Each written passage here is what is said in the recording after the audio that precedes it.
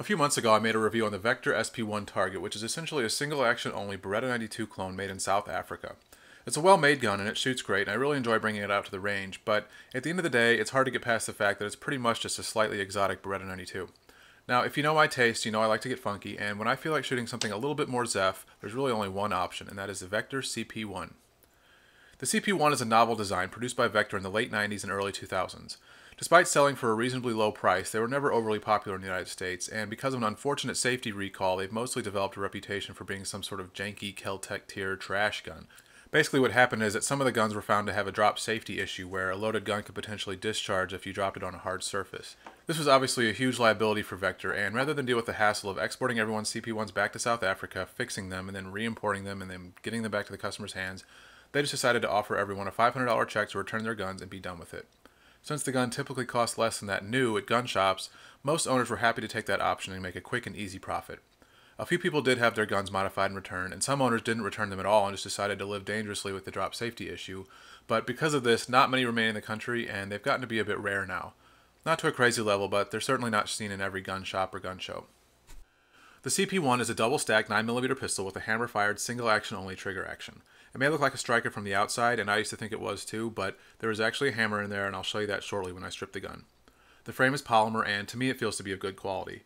Honestly, because of the cloud hanging over them from the safety recall and the polymer construction, I was sort of expecting a cheap South African tourist style gun, but that just really isn't the case in my experience. It has a solid and balanced feeling in the hand also, and just overall construction feels pretty good. The slide is steel and it seems nicely milled and finished, and this one has a black slide, but they were also available with chrome slides, which looks kind of cool. Apart from the visual design, the gun is also relatively unique for its gas delay system, which is inspired by the HK P7, believe it or not, and I'll show you that too. Next, I'll do my usual size and weight comparison. The CP1 weighs in at 25.6 ounces unloaded, which is a bit heavier than I originally anticipated, but I do like that. It gives it a sense of sturdiness. And you can see that it's just a little smaller than a Glock 17 and certainly more narrow. Now I'll move on to ergonomics and design, and that's probably what the gun is most noted for. Looks like it came from a freaking spaceship. There are a few guns that can match it in terms of looking like it was straight up designed by a Hollywood props department, and that's one of the things that makes it cool in my opinion, and it's been featured in a lot of movies for just that reason. One of its more notable recent appearances was in the Hunger Games series, and it was a great choice. Even the logo looks like it's from some dystopian Martian corporate conglomerate from the year 2050, the swoopy futurism does have a purpose, though, as the gun was intended to be a concealable duty weapon, and the company went to great lengths to remove every angle and snaggable protrusion possible. A little more texturing may have been nice, though, since it has a vaguely slippery feel when you're holding it. I also find the shape to not be super conducive to a confident grip, but the magazine lip does help lock it into your hand a little bit better. I'm not saying I can't hold on to it, but I think if you had any kind of liquid on your hands, it's going to be kind of tough to keep control of. The magazine release is perhaps another questionable decision. It's completely flush, obviously to reduce snags, but that also makes it a bit tricky to engage. It's definitely not a gun I want to be doing a tactical reload with in the middle of a gunfight, because even on a calm range, it takes a few tries to find the button and hit it just right. The magazine holds 10 rounds, by the way, thanks to the assault weapons ban that was in place while it was for sale. It also comes with a second, smaller magazine to further improve carryability, but honestly, neither of them fit my hand just right, and I just keep the larger one in because that extra lip at the bottom does help give me a little bit better grip. You may have been wondering what this doodad is, and it's the manual safety. Remember that this is a single action hammer fired gun, so it does need some sort of safety mechanism. I actually find it to be a pretty clever and innovative design. It's designed so that when the gun is holstered, the safety is automatically engaged. To disengage it, you push it forward with your trigger finger. It's a little bit unusual, and it would certainly take some practice to become proficient with it, but I do appreciate what Vektor was going for, and I think it does mesh nicely with the rest of the design of the gun. The other safety is the small tab in the middle of the trigger, which is a little unusual for a gun that isn't striker fired, but it probably looks familiar to people into Glocks and other striker guns. It works similarly to those other trigger safeties where you must be deliberately pressing the trigger for it to drop the hammer.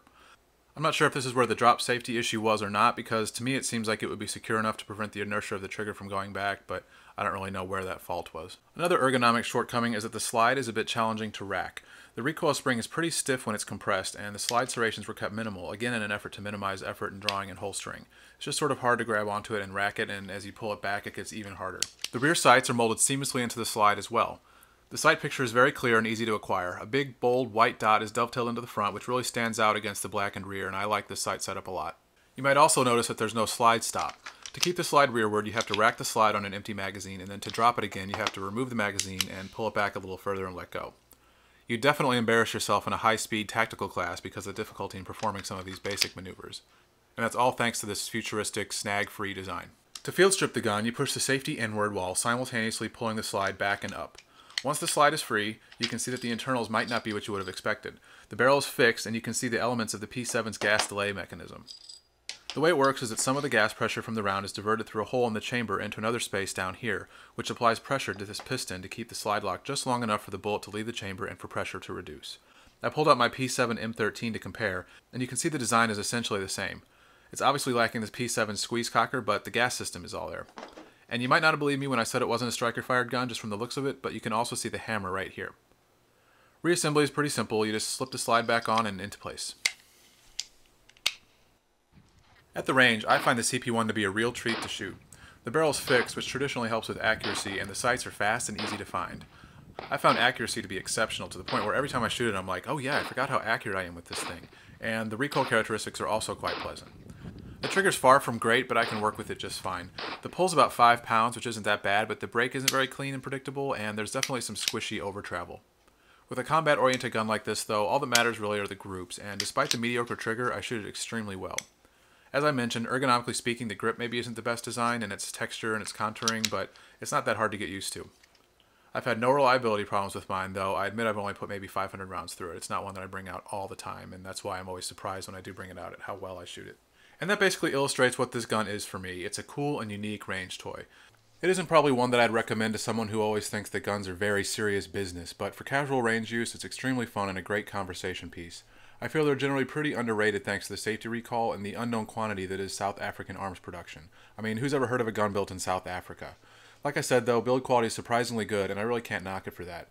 These days, they are on the rare side, but not overly expensive. You can usually find one in good shape for about seven to eight hundred dollars and in my opinion, they're very much worth that, both for shooting enjoyment as a range piece and just for being cool looking. Personally, I don't really care about the drop safety issue because I think if you practice good range habits and just make sure you don't drop the thing, it shouldn't be an issue. I know I've never dropped a gun during my usual shooting routine, and like I mentioned, this really isn't one that you'll be bringing to your Travis Haley classes. So while they might not be as practical as the Beretta 92 base SP1 lineup and the controls aren't really ideal for your single go-to training gun, I do think they're a good shooting and unique pistol that fans of exotic handguns should give a second look. So that was the Vektor CP1 out of South Africa. Thanks for watching, and please stay tuned for the next one.